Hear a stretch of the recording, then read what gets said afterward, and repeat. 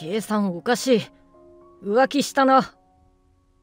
直樹の怒号が私の耳にキーンと響き渡る。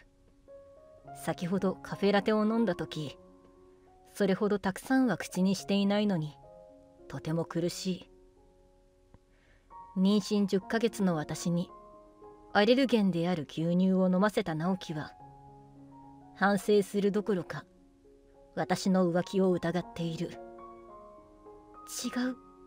助けて。直樹の疑いをはっきりと否定する気力はなく口から出てきたかすれ声は直樹の前で弾けてさっと消えた。そんな演技したって無駄だぞ。俺は騙されないぞ。アレルギーなんて大したものじゃないくせに。私が浮気をしていると思い込んだ直樹は苦しむ私を助けるどころか私を疑ったまま背を向けて家から出て行った。ああどうしよう。一巻の終わりだ。私は最後の力を振り絞りスマホでとある人物に電話をかける。でも力の入らない手からスマホはするりと滑り落ちてしまった。お願い。誰か助けて。私の名前は阿部伊織。33歳の専業主婦で同級生の夫の直樹と2人で暮らしている。直樹とは2年前に共通の友人を通して知り合った。お互い30歳を超えていてそろそろ結婚を考えていた時期だったので友人を介して出会った時すでに結婚相手として強く意識していた。直樹は総合商社に勤めており年収としては申し分なく外見もかっこいい方だった。失礼ですがどうして今まで結婚されなかったんですか？ぶしつけとは思ったが純粋に気になったのでその場で聞いてみることにした。ああ実は半年前まで婚約者がいたんですが。破談になってしまいまして。それで新しいパートナーを探していたところなんです。爽やかにそう答える直樹私はなるほどとうなずいた。婚約破棄をされたのはさぞ辛いことだろう。私は経験がなかったが直樹の心の痛みは理解することができた。その後私たちは趣味や休みの日は何をしているのかなどたわいもない話で盛り上がった。直樹とは美術館巡りや映画鑑賞の趣味があってもし交際して結婚すれば2人で楽しい日々を送れそうだと感じた。互いに意気投合してその日は別れまた1週間後に連絡をして再会した。自分でも呆れるほど展開が早いと思ったのだが直樹とのデートはいい意味で緊張をせず自分らしく振る舞うことができた。直樹と一緒になれば私は自然体でいられる。そう直感で分かった私は直樹にアプローチを始めた。そんな私の思いに応えるかのように直樹の方も私を好いてくれたようで私たちは出会って1ヶ月で交際を開始した。正直かなりのスピード交際で自分の今までの恋愛とは全く違っていた。でも直樹がいい人そうなのはすでに分かっていたし顔がよく年収も高い彼を将来のパートナー候補として捕まえておきたかったというのが本音だった。恋人同士となった私たちの交際は順調に進み交際を始めて1年後に見事ゴールインを果たした。プロポーズは私の誕生日にクルーズ船でのディナーの最中にしてくれた。私は牛乳アレルギーなのでコース料理で牛乳が必要な料理は私の分だけ豆乳を使ってくれていた。そういうさりげない配慮をしてくれる直樹のことが私はとても好きで自慢の彼氏だった。プロポーズされた私は当然のように婚約指輪を受け取ると大事にそれを左手の薬指にはめた。いつか自分が婚約指輪をはめる時が来るのかと夢見ていたこともあったがこんな風に現実になると逆にこれが夢なのではないかと思った。それぐらい嬉しかった。いおりのこと一生大切にするから。お酒を飲んでほんのりと顔を赤くした直樹が私の頬に口づけした。その夜は最高潮に幸せで直樹と結婚できる喜びをかみしめていた。それからほどなくして席を入れると私たちは2人だけの新居に引っ越した。いおりの実家の近くでいいよ。俺の職場からも近いしその方が安心だろ。えいいの？ありがとう。直樹は私が一人っ子ということもあり両親が心配するだろうからと私の実家の近くのマンションに住むことを提案してくれた。これから子育てをするかもしれないと考えると正直両親の手を借りたいこともあるのでとてもありがたかった。私の家族は親戚も含めてみんな近隣に住んでいる。小さい頃はいとこの真治によく遊んでもらったものだ。そういうわけで実家の近くで新生活を始められるのは願ったり叶ったりのことだった。新居での生活が始まると私はあることにすぐに気がついた。直樹は家事を一切やらない人間だったのだ。でも私は専業主婦になったのでそれでも構わないと思っていた。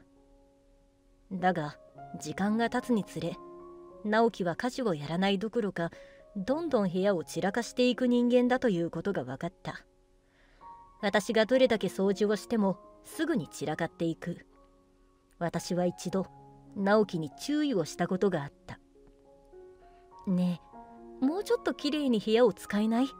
せめて脱いだものは洗濯かごに入れるとか。できるだけ優しく諭すように言ったつもりだった。でも直樹は私が注意してくるのが気に入らなかったようで。え？面倒だし嫌だよ。と一言だけ返してきた。私はため息をつきながら直樹の脱ぎ散らかした服を片付ける。とはいえ部屋を汚く使うというところ以外はそれほど気になることはなかった休みの日にはできる限り私とデートに出かけてくれた。好きな映画を見に行ったり期間限定の絵画を見に行ったりととても充実した夫婦生活だった。そんな私たちの幸せな生活に限りが出たのは私の妊娠が発覚した頃だった。月のものがなかなか来ないと思って調べてみると陽性反応が出た。私はその足で産婦人科へ行き妊娠していると告げられた。直樹との子供が欲しいと思っていた私は手放しで喜んだ。自分のお腹の中に愛する人と血を分けた子供がいるというだけで世界が輝いて見えた。その日帰宅すると早速直樹に妊娠を報告することにあなたビッグニュースよ。私妊娠したの。流行る気持ちを抑えられず笑顔でそう言うと直樹は本当かと目を丸くした。ええ本当よ。今2ヶ月だって。生まれるの10ヶ月になってからだからまだまだ時間はかかるけど楽しみね。弾んだ声でそう言うと直樹の表情がいぶかしげに曇っていくのが見て取れた。2ヶ月だって。ええ。ふん引っかかるところでもあるのか。右手を顎に当てて何かを考える素振りをする直樹。あなたどうしたの？嬉しくないの？いやちょっとね。直樹は意味深に答えるとそれ以上私には何も言ってこなかった。ひょっとして直樹は私との子供など欲しくなかったのだろうか。でも結婚する前にさらりと子供について話をしたことがあるがその時はできるだけたくさん欲しいと語っていた。それならばどうして喜んでくれないのだろうか。もやもやした気持ちにさせられたが妊娠をしているという事実には変わりない。私は今はまだ直樹も突然のことで頭が追いついていないだけだと思うようにした。特に父親は不正が芽生えるのが遅いと言うし急に妊娠したと言われてピンとこないのも仕方あるまい。そう自分に言い聞かせた。だがその日以降直樹の態度はどことなく冷たくなった。私がつわりで苦しんでいても一切家事を手伝ってくれない。もともと家事はやらない人間ではあったが妻がピンチの時くらい手伝ってくれるだろうと思っていた。申し訳ないけど今日はずっと気分が悪いの。ご飯も作れそうにないわ。出勤前の直樹に私がそう告げると直樹ははーっと声を荒げた。今までだってやってなかったのに突然料理なんてできると思ってるのか。妊娠は病気じゃないんだぞ。専業主婦のいおりの本業は家事だろ。だったらちょっと体調が悪くたって料理ぐらいやるべきじゃないのか。俺だって多少体調が悪くても仕事には行くぞ。さも自分は正しいことを主張しているという顔で私のことを睨みつける直樹。確かに体調不良でも直樹は仕事に行くことが多いが体調の具合なんて人によって様々だ。今気分が悪くて起き上がることさえ難しい私には鬼のような言葉に聞こえた。ででも私本当に動けなくて。私が懇願するような眼差しでそう答えると直樹はふんと鼻を鳴らした。もういいわ。今日はどこかで済ませてくるからさ。そう吐き捨てるように言って家を出て行った。あ。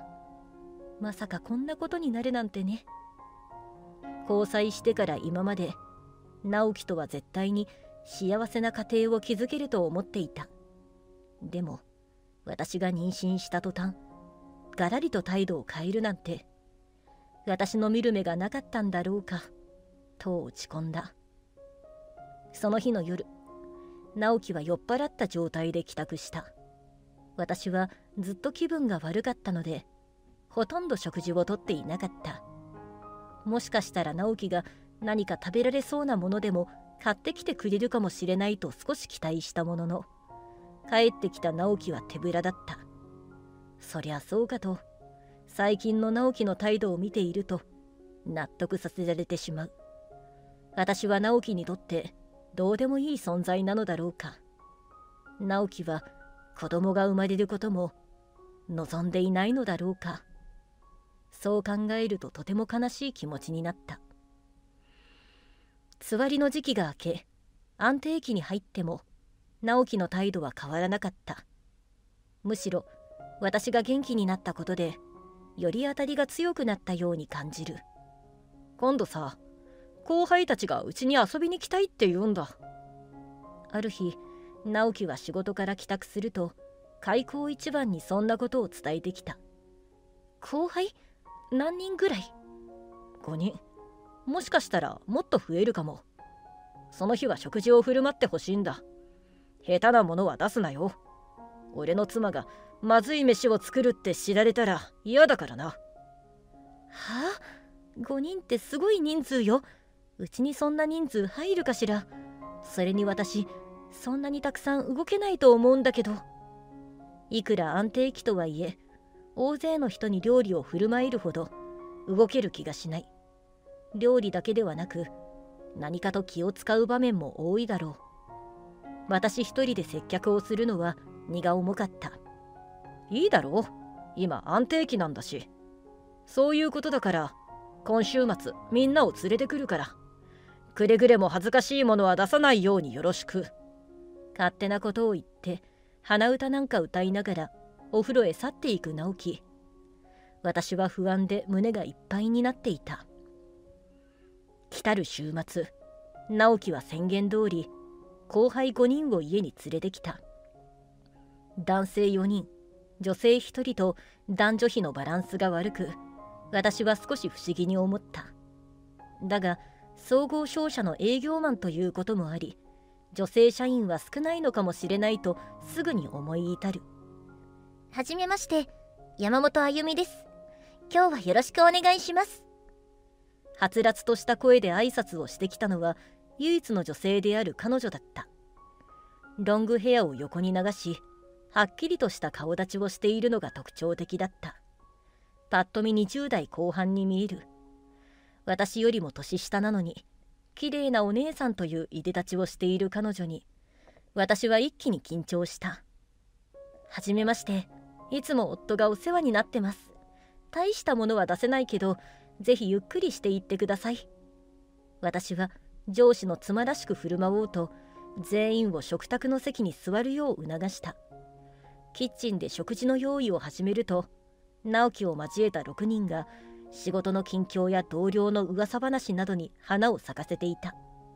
中でも山本さんは全員の話に適度に相づちを打ち鋭いツッコミを入れその場を盛り上げているようだった。あの輪の中に私は到底入れそうにない。今日は裏方に徹しようとひっそりと考えていた私。食事ができてテーブルに運ぶとみんな美味しそうだと喜んでくれた。このクリームシチューひょっとして豆乳ですか？スプーンを手にした歩みが大きな瞳をさらに大きく見開いている。ええそうなんです。私が牛乳アレルギーだから牛乳を使う料理の時はいつも豆乳にしてるんですよ。へえ。歩みは私の言い分に納得してくれたのか特に何も言わずに再びスプーンを口に運んだ。おいおいいくら自分が牛乳アレルギーだからってお客さんに出す時はきちんと牛乳使えよ。直樹がすかさず噛みついてくる。そんなことを言われるだろうと予想していたので私はため息が漏れた。私も食べるから豆乳じゃないとまずいの。それなら分けて作ったらよかったじゃないか。ででもそれだと味見もできないし私たちの会話をポカンとした表情で見つめる観客たち。悪いなみんな。こいつが牛乳アレルギーなんて言うから。アレルギーって言ったってどうせ好き嫌いみたいなもんでしょ。直樹が私を嘲笑う。後輩たちは思うところがあるようだが上司への忖度のためか気まずそうな顔をしている。まま豆乳も美味しいですよ。冷めないうちにどうぞお召し上がってください。私は努めて明るい声でそう言った。山本さんだけがじっと黙り込んで何かを考えているようだった。後輩たちを招いての食事は何とか終わり私はどっと疲れていた。直樹はというとありがとうの一言くらい言ってくれるかと思ったが何も言わずに眠ってしまった。ここのところ直樹と会話も減っていて私はとても不安な気持ちにさせられていた。その上今日みたいにアレルギーのことでバカにするような発言をされることに私は苛立ちを覚えていた。あれからさらに数ヶ月の時が流れ私は妊娠10ヶ月を迎えていた。直樹は最近仕事から帰ってくるのが遅く夫婦の会話はほとんどない。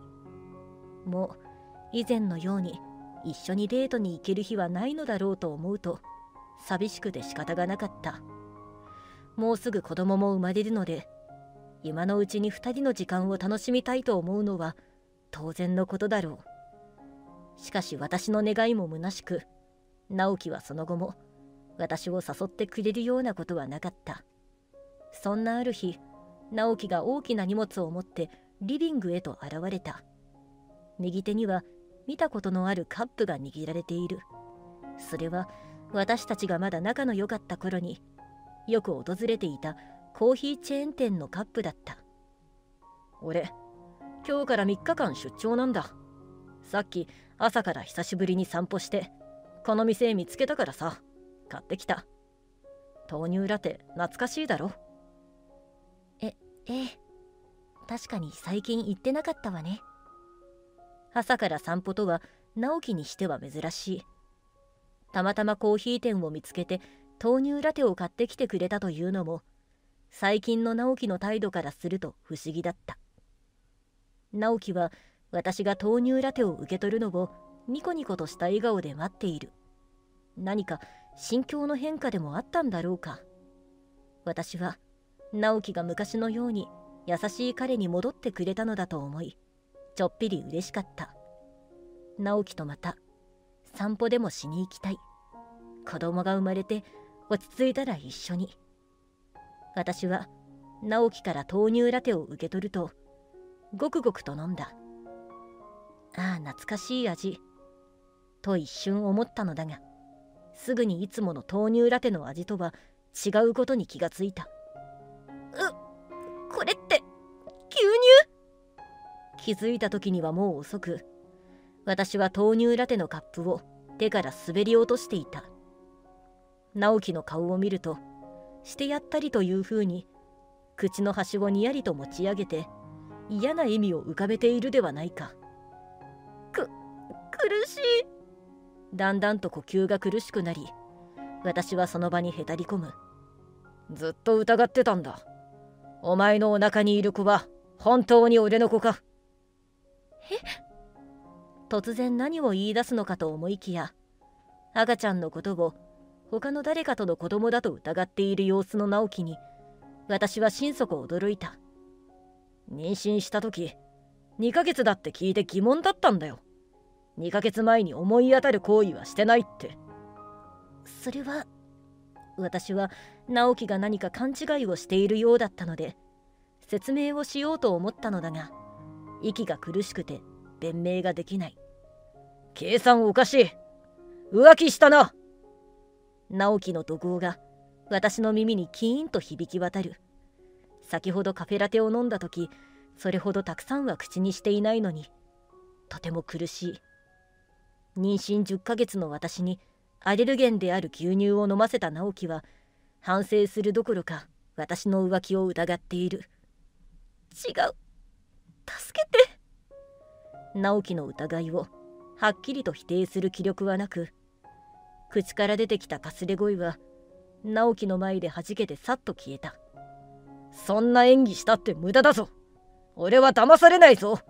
アレルギーなんて大したものじゃないくせに。私が浮気をしていると思い込んだ直樹は苦しむ私を助けるどころか私を疑ったまま背を向けて家から出て行った。ああどうしよう。一巻の終わりだ。私は最後の力を振り絞りスマホでとある人物に電話をかける。でも力の入らない手からスマホはするりと滑り落ちてしまった。お願い。誰か助けて。心の中で必死に叫びながら私の意識はうっすらと消えていった。目が覚めると真っ先に白い壁と天井が目に映り自分が今病院に寝かされていることが分かった。私助かったんだ。ほっとすると同時に視界の端からある人物の顔が覗き込んできた。より目覚めたんだな。シンジ兄ちゃん。現れたのは近所に住むいとこのシンジだった。いおりから電話がかかってきて出たんだけど何も聞こえてこないから最初は間違いかと思ったんだでもよく聞くと荒い呼吸の音が聞こえていおりに何かあったんだって思った。慌てていおりの家に駆けつけたら玄関の鍵は開いてるしリビングでいおりが倒れてるしびっくりしたよ。その場で救急車を呼んで病院に運んでもらったんだ。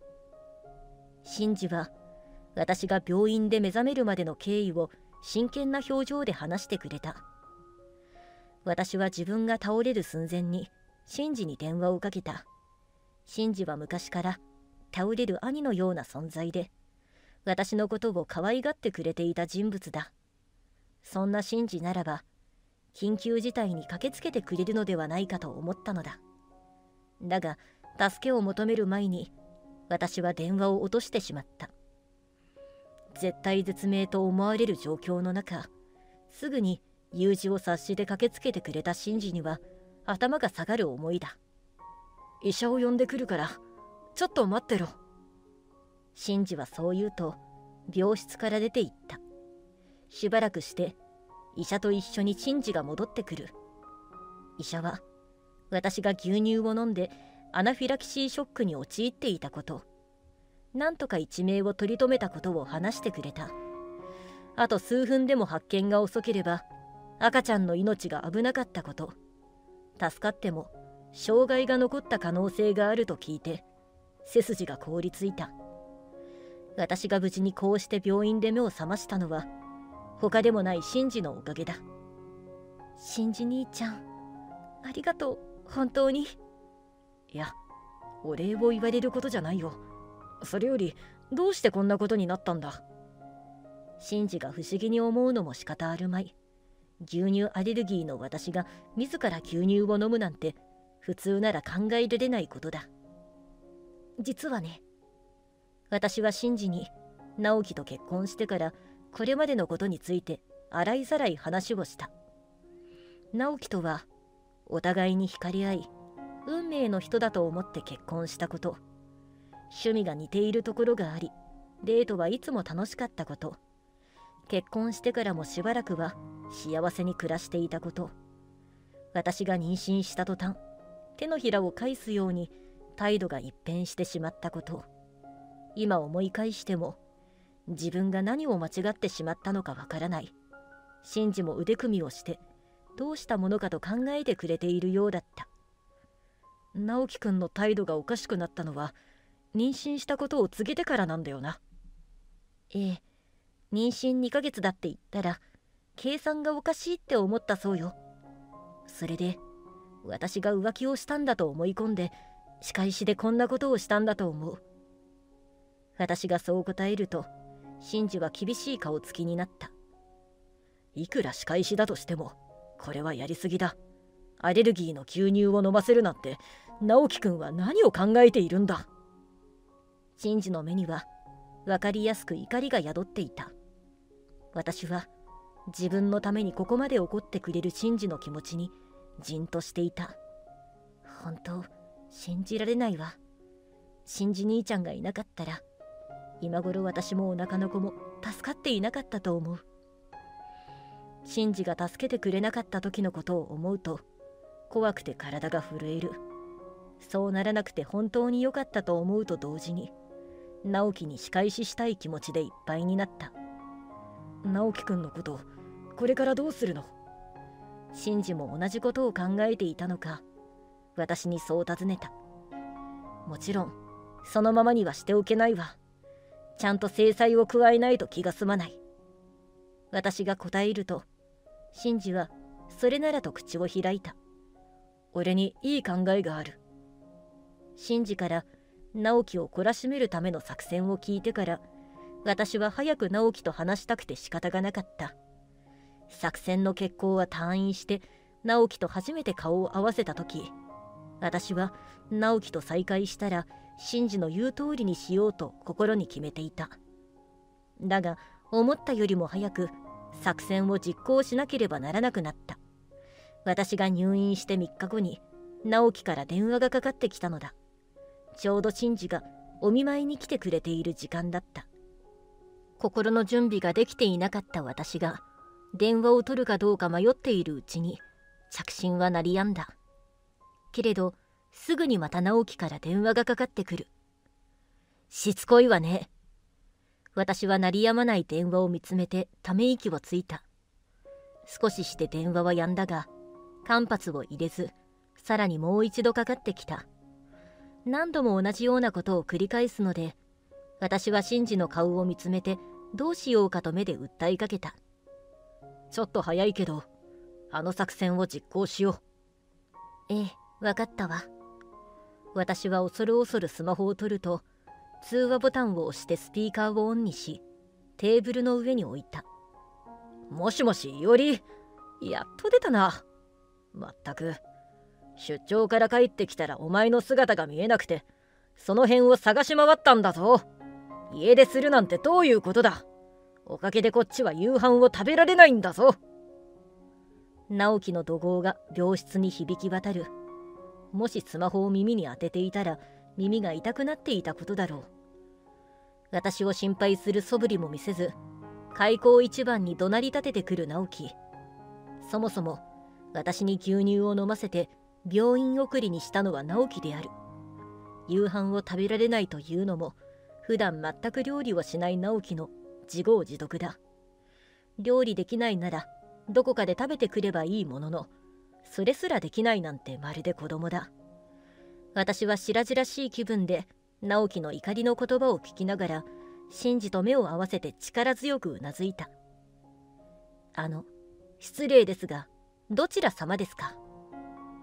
私はできるだけいつもよりも声のトーンを低くして直樹を戸惑わせようとそう問いかけた。はお前何言ってんの？電話の向こうから直樹のすっとんきょうな声が聞こえてくる。私はシンジと目を合わせてにやりと笑った。私あなたのことがわからないんです。スマホの画面に直樹って名前で表示されてるってことはもしかして私の夫でしょうか？は？わけがわからないというふうに疑問の声だけを上げてくる直樹。それもそうだろう。妻に鬼電をかけてやっと出たと思ったらすっとぼけたようなことを言われたのだから。私はシンジの方を見て再びほくそ笑むシンジも目の端を細めてうなずいた。そして今度はシンジがスマホを手に取り直樹に向かって話し出したはじめまして直樹さん。僕は上村真司と言います。実は今いおりとの電話の声が聞こえて電話を代わってもらいました。は？真司誰だよお前？あもしかしてお前がいおりのお腹の子の父親か？だったらいおりの浮気相手はお前だったんだな。直樹は早合点をして尖った声でシンジを責め立てた。浮気？何の話でしょうか？僕はいおりのいとこです。実はいおりは今記憶喪失になっているんです。記憶喪失？そう。私がシンジと立てた作戦はこれだった。私は記憶を失っているふりをして直樹を混乱させる。その隙に直樹が私に牛乳を飲ませたという表現を引きずり出すという流れだった。本当は実際に会ってから実行しようと思っていたが直樹からの電話により少々早まってしまった。だが問題ない。むしろ電話の方が顔が見えないので都合がいいかもしれない。ええあれ知らないんですか？いおりは3日前に飲んだカフェラテが原因でアナフィラキシーショックを起こし倒れてしまったんですよ。アナフィラなんだって？直樹はその手の話に疎いのか電話の向こうで首をかしげているのが分かった。アレルゲンである牛乳を口にして死にかけたということです。もう少しでお腹の赤ちゃんにも影響が出るところでした。いおりは精神的ショックから記憶を失いました。飲ませたのはあなたですよね？シンジがきつい口調でそう言うと直樹がひっと小さな悲鳴を上げたち違う何が違うんですか？飲ませたのは確かに俺だけど飲ませるように指示したのはあ歩みなんだ。声を震わせながらそう叫ぶ直樹。聞き捨てならないことを聞いて私はシンジと顔を見合わせた。するとその時電話の向こうから「ちょっと」という女の人の声が聞こえてきて私たちはぎょっとする。歩みだ。以前うちにやってきた直樹の後輩の一人で美人だったのでよく覚えている。まさか直樹は歩みと浮気していたというのか。なんで私のせいになるのよ。実際に飲ませたのはあなたでしょ。お前がアレルギーの牛乳を飲ませたら数日いよりが寝込むことになるから旅行に行ってもバレないって言ったんだろ。そうだけどいくらなんでも大量に飲ませすぎよ。直樹と歩みが喧嘩を始める。2人の話を聞くに以前うちにやってきた時に私が牛乳アレルギーだと知った歩みは私に少しだけ牛乳を飲ませて体調を悪化させて2人で心置きなく旅行に行こうという計画だったようだ。直樹と歩は浮気していると思って間違いないだろう。私に散々浮気したとわめいていたくせに自分が浮気しているなんて直樹のちぐはぐな言動に吐き気を覚えた。私はシンジにアイコンタクトをし電話を代わってもらった。はい。お疲れ様でした。今の会話しっかりと録音させてもらいました。突然記憶喪失だったはずの私の声が聞こえて電話の向こうで直樹と伊織が息を飲む声が聞こえてきた。は？お前どういうこと？ごめん。記憶喪失っていうのは嘘。あなたから牛乳を飲ませたっていう証言をもらうためわざと記憶喪失と言ったのよ。まあそのおかげであなたが浮気してる証言もゲットできたから慰謝料はたんまりいただくことができるわね。弾んだ声で私がそう言うと直樹と歩が何と同時に声を上げた。まったくどれだけ頭が悪いのかこの後に及んで自分たちのしたことの重大さを理解していないことに私もシンジも呆れてしまった。き汚ねえぞ。大体お前だって浮気してたんじゃねえかよ。だったら慰謝料は半分ずつだよな。いやお前の浮気を知って俺も歩みと浮気しようって思ったんだから元はといえばお前のせいじゃないか。自業自得なんだから慰謝料なんていらないよな。勝ち誇ったような声でそう言ってくる直樹だったが勘違いも甚だしい。あのね私が浮気したなんていつ言った？は？それは妊娠週数を数えたら一目瞭然だろ。やっぱり直樹は勘違いをしている。私は直樹に一言ガツンと言ってやった。妊娠週数っていうのはね前回の生理が終わってから数えるのよ。そんなことも知らずに勝手に浮気を疑って自分も浮気しようだなんてとんだクズね。あなたとはもう離婚します。慰謝料をたっぷり請求するので覚悟しておいてください。私はありったけの力を込めてそう叫ぶと勢いよく電話を切った。それから直樹からの着信を拒否する。これでようやく平和が戻ってきたのだ。はあ新次兄ちゃん本当にありがとう。いやいおりが悲しんでいるところを見たくないから直樹くんにガツンと言ってやれてよかったよ。私たちは顔を見合わせてほっと一息つく。これから私は父親のいない子を産むことになるが直樹みたいな親がいるよりはいない方が断然マシだなと思うようになった。その後私とシンジは直樹と歩美の罪の証言を録音したボイスレコーダーのデータを警察に届けた。直樹と歩美はすぐに逮捕され現在警察署で取り調べを受けている。以前うちにやってきた直樹の職場の後輩に聞いた話だが直樹と歩美は職場でもべったりで誰がどう見ても付き合っているということがバレバレだったらしい。後輩はもっと早く話すべきだったと後悔しています。と話してくれたが先輩の悪事を告発するのは勇気がいることだ。私はその後輩に大丈夫と伝えた。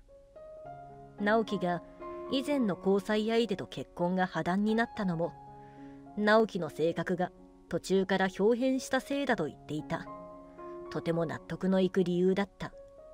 さらに直樹と歩は出張と称して旅行に行っていたことが何度かあったようで会社の出張費を私的利用していたことが分かり懲戒免職に追い込まれた。